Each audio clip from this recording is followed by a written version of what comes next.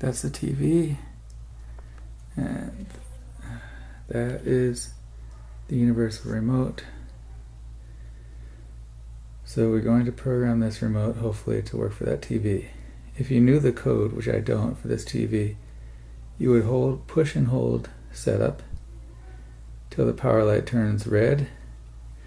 Then you pick which one of these buttons you want TV, cable, DVD, audio. I would push TV. And then I would type down here the four digit code that goes with the TV. Uh, like say it's 1111.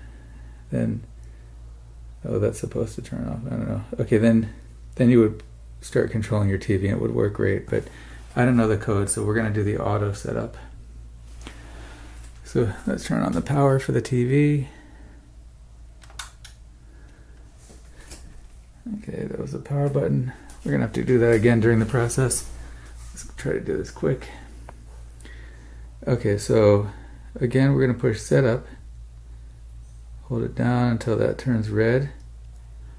The TV's on. So we're gonna, now instead of doing, okay, we're still gonna push the thing we wanna push here, I think. Now, we're gonna hold down the power button for a second. And it flashes. It's trying out 10 codes at a time. It has all these codes stored.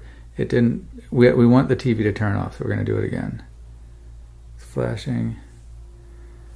And the TV's not turning off, so we're going to do it again. Uh, nothing, try again. Hopefully we get it soon. You just keep doing that because it's trying out every code. Oh, look, it turned off. That's what we want. Okay, now the next step. So the next step is we turn on the TV again.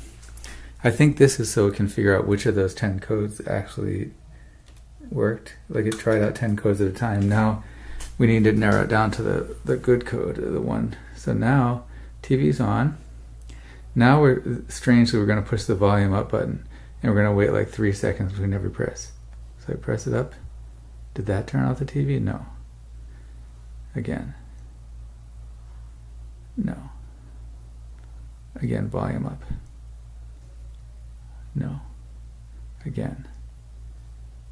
No. I'm going to wait a few seconds. Oh, turn it off. Okay, so now the next step is, I think it is that we just push again the button associated with the category TV and we're all set. If this really worked, this power should turn on the TV by itself now. Yep.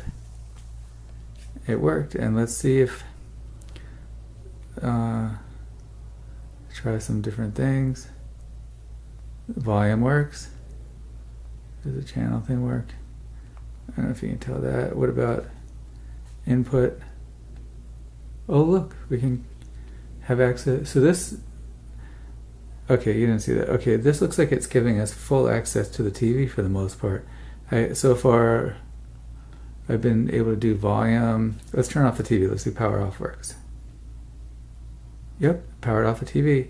So this old Panasonic TV, this universal remote that was about $10 plus or minus, now has full control. This can control four devices, but the TV is set to this TV.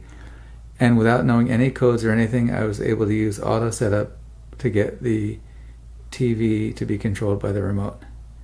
And thank you for watching.